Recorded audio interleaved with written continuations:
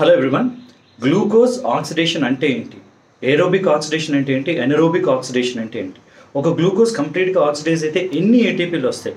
Anaerobic ప్రాసెస్లో ఎన్ని ATP వస్తాయి? ఏరోబిక్ ప్రాసెస్లో ఎన్ని ఏటీపీలు వస్తాయి? మనం ఇన్హేల్ చేసే ఆక్సిజన్ యూజ్ ఏంటి? మనం ఎక్సైల్ చేసే కార్బన్ డైఆక్సైడ్ ఎక్కడి నుంచి వస్తుంది?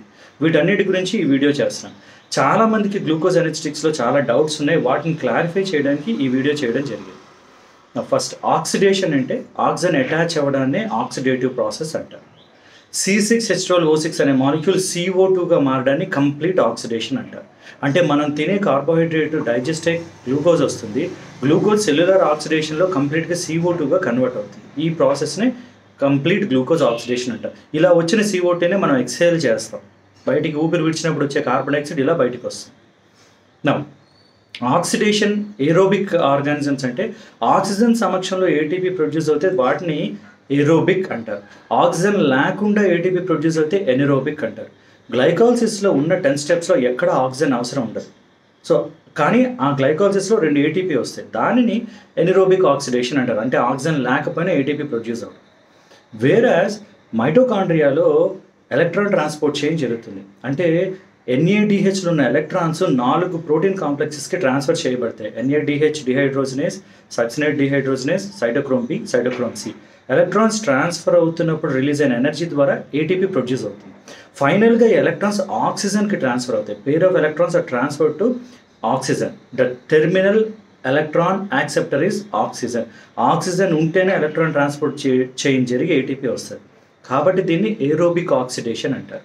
సో సిట్రిక్ యాసిడ్ సైకిల్ కానీ ఎలక్ట్రాన్ ట్రాన్స్పోర్ట్ చేయని కానీ they are considered as aerobic cycles ఎందుకంటే ఆక్సిజన్ ఉంటేనే ఈ సైకిల్ జరుగుతాయి లేదంటే జరగవు. గ్లైకాలసిస్ అలా కాదు. ఆక్సిజన్ లేకపోయినా ఏటీపీ వస్తుంది. ఎగ్జాంపుల్గా రెడ్ బ్లడ్ సెల్స్ తీసుకో రెడ్ బ్లడ్ సెల్స్లో మైటోకాండ్రియా ఉండదు. మైటోకాండ్రియా లేదు అంటే సిట్రిక్ యాసిడ్ సైకిల్ జరగదు.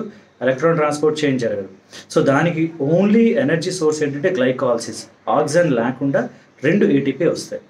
ఇది సో ఆక్సిజన్ uh, లేకుండా ఎన్రోబిక్ కండిషన్స్లో గ్లూకోజ్ ఆక్సిడైజ్ అయితే వచ్చే నెట్ ఏటీపీ అంటే రెండు ఏటీపీ అని చెప్పాలి. Coming to the energetics of glucose glucose ఎనర్జెటిక్స్లో starting glucose change జరిగేటప్పుడు గ్లూకోజ్ రెండు ఏటీపీలు యూస్ చేసుకొని ఫైనలీ నాలుగు ఏటీపీలు రిలీజ్ చేస్తారు. సో నెట్ గెయిన్ ఎంత? రెండు ఏటీపీలు యూస్ చేసుకుంది కాబట్టి నెట్గా మిగిలేదు రెండు ATP so net gain of ATP under anaerobic condition అంటే టూ ఏటీపీ ఎనరోబిక్ అని అంటే ఏరోబిక్ అంటే మళ్ళీ ప్రాబ్లం వస్తుంది. ఎందుకంటే గ్లైకాలసిస్లో రెండు ఎన్ఏడిహెచ్లు ప్రొడ్యూస్ అవుతాయి. అది సిట్రిక్ యాసిడ్ ఎలక్ట్రాన్ ట్రాన్స్పోర్ట్ చైన్లో ఎలక్ట్రాన్స్ ట్రాన్స్ఫర్ చేస్తే మళ్ళీ ఏటీపీ వస్తుంది. అక్కడ మళ్ళీ ఈక్వేషన్ మారుతుంది. Let us understand the entire process so గ్లైకాలసిస్లో glucose six molecules ఉన్న గ్లూకోజ్ త్రీ మాలిక్యూల్స్ ఉన్న పైరువేట్గా బ్రేక్ డౌన్ అవుతుంది. గ్లైకా గ్లూకోజ్ బ్రేక్ డౌన్ అవుతుంది కాబట్టి గ్లైకాలసిస్ అనే వర్డ్ వచ్చింది. సిక్స్ కార్బన్స్ రెండు త్రీ కార్బన్స్ ఉన్న పైరువేట్గా బ్రేక్ డౌన్ అవుతుంది. పైరువేటు ఎసిటైల్ కోయగా మారుతుంది. త్రీ కార్బన్స్ ఉన్న పైరువేటు టూ కార్బన్స్ ఉన్న ఎస్టైల్ కోయగా మారుతుంది. ఆ ఒక కార్బన్ ఏమైందంటే కార్బన్ డైఆక్సైడ్గా బయటకు వస్తుంది. నా ఈ ఎస్టైల్ కోయే సిట్రిక్ యాసిడ్ సైకిల్లో ఆక్సిల్ ఎస్టేట్తో కంబైన్ అయ్యి మళ్ళీ సైకిల్గా అన్ని చైన్స్ అన్ని స్టెప్స్లో వెళ్ళి రెండు కార్బన్స్ ఉన్న ఎస్టైల్ కోయే రెండు కార్బన్ డైఆక్సైడ్గా బయటకు వచ్చేస్తుంది. So this is what happens so ఏం జరిగింది అంటే గ్లైకాలసిస్ నుంచి అన్ని రెండు రెండు స్టెప్స్గా తీసుకోవాలి. గ్లైకాలసిస్లో రెండు పైరువేట్లు వస్తాయి. రెండు పైరువేట్లు రెండు ఎస్టేల్ కోయగా మారేటప్పుడు రెండు కార్బన్ డైఆక్సైడ్ వస్తాయి.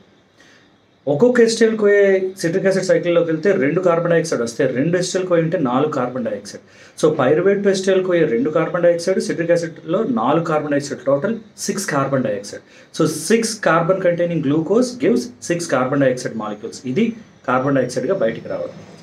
ఎలక్ట్రాన్స్ ఏమవుతాయంటే ఎన్ఏడి క్యారీ చేస్తుంది. ఆ ఎన్ఏడిహెచ్గా మారుతుంది లేదా ఎఫ్ఏడి ఎఫ్ఏడిహెచ్ టూగా క్యారీ చేస్తుంది. నా ఒక్కొక్క ఎన్ఏడి దానిలో ఎలక్ట్రాన్స్ ఎలక్ట్రాన్ ట్రాన్స్పోర్ట్ చేయడంలో ట్రాన్స్పోర్ట్ చేస్తే టూ పాయింట్ ఫైవ్ ఏటీపీ వస్తాయి. టూ పాయింట్ ఫైవ్ ఏటీపీ అదే FADH two one point five ATP వస్తుంది. ఇప్పుడు టోటల్ ఏటీపీని కౌంట్ చేద్దాం. ఎన్ని వస్తాయంటే? గ్లైకోసిస్లో రెండు ఏటీపీ డైరెక్ట్గా వస్తాయి.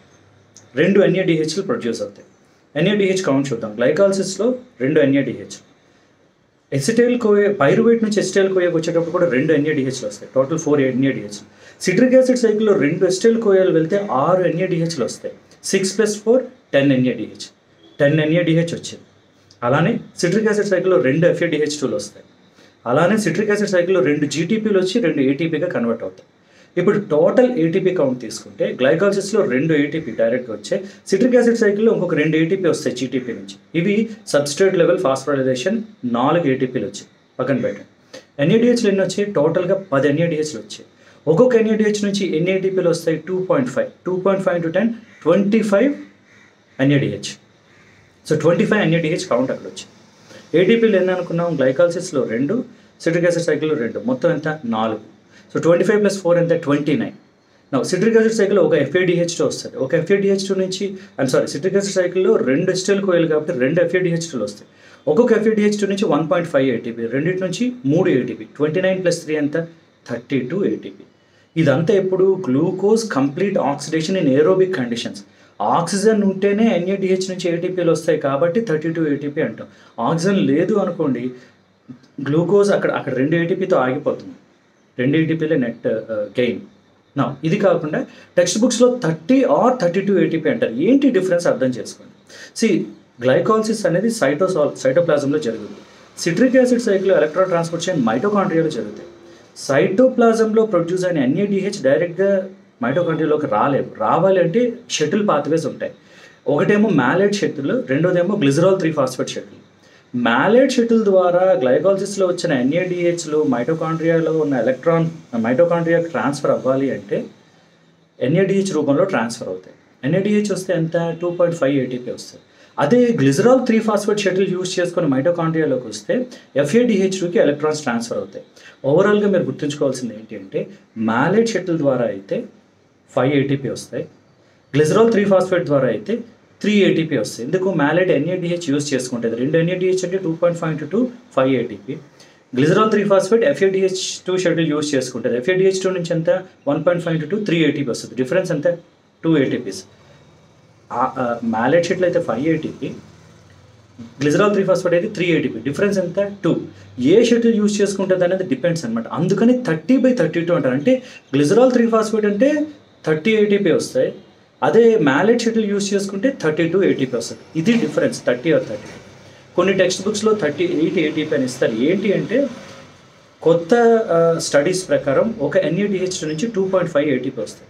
పాత లిటరేచర్లో త్రీ ఎయిటీపీ అనేవారు అనమాట సో ఓవరాల్గా మనకి ఎన్ని టెన్ ఎన్ఏడిహెచ్లు వచ్చాయి? కొత్త లెక్కల ప్రకారం ట్వంటీ ఫైవ్ అంటాం. పాత లెక్కల ప్రకారం థర్టీ ఇక్కడ డిఫరెన్స్ ఎంత? ఫైవ్ ఎయిటీపీస్ పక్కన పెట్టండి. ఎఫ్ఏడిహెచ్ టూ ఎంత? కొత్త లెక్కల ప్రకారం వన్ పాయింట్ ఫైవ్ అయితే పాత లెక్కల ప్రకారం టూ సెఫిడీస్లు రెండు వస్తాయి. అంటే కొత్త క్యాలిక్యులేషన్స్ ప్రకారం one point five to two three అయితే పాత లెక్కల ప్రకారం two into two four ATP అంటే ఒక ఏటీపీ డిఫరెన్స్. ఇందాక ఏటీపీ డిఫరెన్స్ ఎంత? ఫైవ్. ఇప్పుడు ఏటీపీ సిక్స్. అంటే ఎన్ఏడిహెచ్ టూలో వచ్చిన డిఫరెన్స్ ఫైవ్ ఏటీపీస్ అయితే ఎఫ్ఏడిహెచ్లో ఒకటి ATP difference. Five plus one six ATP so thirty two six కలిపి థర్టీ ఎయిట్ ఏటీపీ అంటారు. ఇవి differences. I hope this is clear. మీకు ఇంకా ఏమైనా డౌట్ ఉంటే కామెంట్ బాక్స్లో మీ డౌట్స్ రైజ్ చేయండి ఎక్స్ప్లెయిన్ చేస్తాను. Thank you for watching this video